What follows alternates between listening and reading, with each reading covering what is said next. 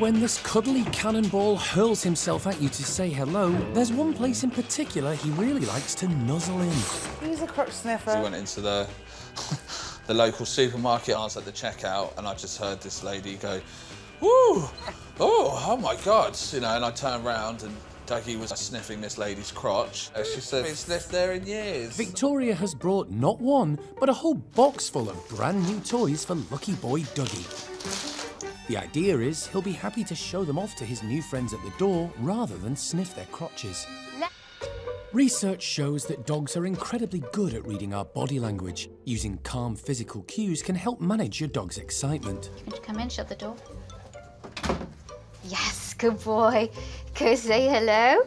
You can say, say hi. And then you can say, "Look, go get your toy. Go get your toy. Do you see how you do that? Absolutely, yeah.